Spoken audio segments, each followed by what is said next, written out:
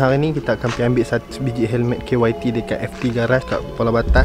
So Amir wakil kawan Amir saja untuk pergi ambil helmet tu. So let's go.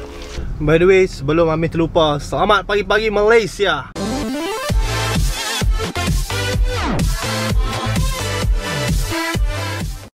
Tapi itulah geng. Amir dah sampai dah Kat FT Garage. Tutup lah pula Amir tengok dalam IG Apik Dukados Dia tak update apa-apa pun.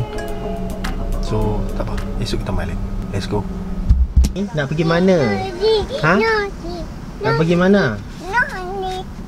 No, no. Okay sorry lah geng. Afia sekarang ni dah makin Macam-macam sangat perangai dia. Ha tu dia. Ha Sat sat.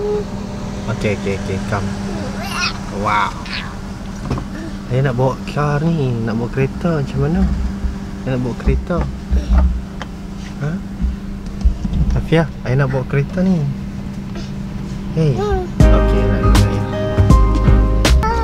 Amir nak pergi ambil helmet. Uh, Isyad dekat FT Garage. Sebab kemarin Amir pergi FT Garage. FT Garage tutup Dan hari ni Amir datang kedai dia sekali lagi. Kedai dia buka. So jom Apa lagi kita tunggu? Kita pergi ambil helmet yang Kita tunggu-tunggu.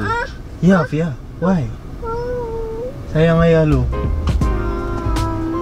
Okay Jom. Okay Kita balik hantar Afia dulu. Dia dah tidur. Kesian ke dia? Shh Jom. Okey dah settle lah hantar Afia. Tak bawa teriak Bawa mengantuk Aduh Ya layankan je saja. Amir nak pergi balik dekat FT Garage Let's go. Sebabkan uh, Amir rasa Amir berkeseorangan ni Macam Bosan lah Amir decide untuk pergi ambil kawan Amir.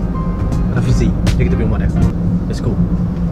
Okay, kita bersama dengan Abang Rafizi kita Geng Pulau Batas Tu dia. Kita pergi ambil helmet Syak FT Garage ni memang tempat Depa jual-jual aksesori motor. Tak kita tengok apa yang ada kat dalam Aku first time pergi FT Garage First time ah. First time Baik. Lah aku berurusan dengan Apit Time tu dia dia, dia naik Honda FD Oh, tak lama dah. Ah.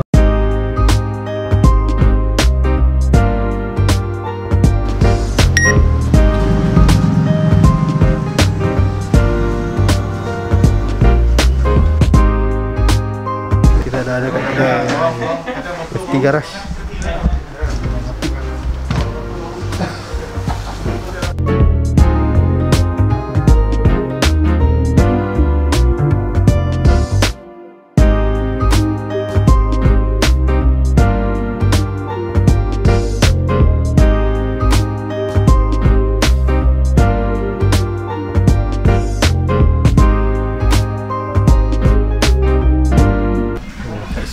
bukan saja helmet yang mahal yang pun boleh beli Ribu-ribu pun ada. Tu terpulang pada hampa Kalau hampa nak main tengok Ini kat semua ada So Tua dan muda. KRC, model baru pun ada. Kuning tu.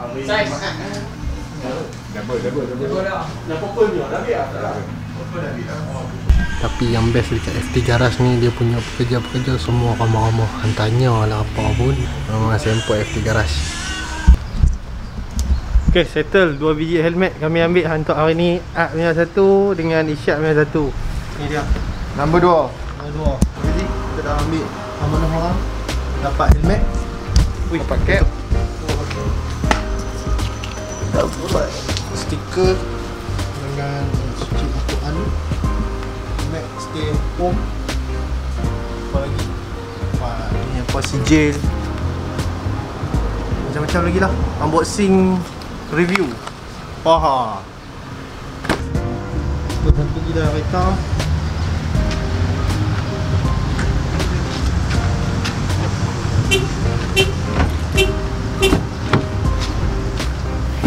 Ah. So let's go.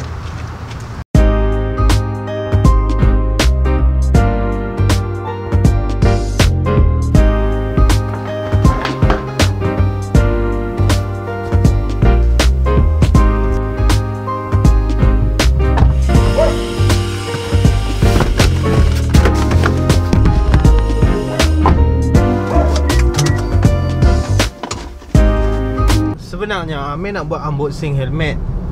Tapi Malah lah.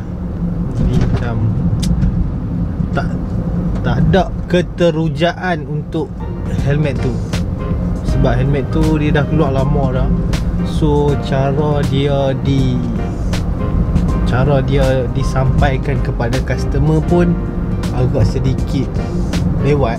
Macam Amir cakap tadi Dia dah hilang keterujaan. So Amir Hari ni nak bawa helmet tu Bagi kat owner dia.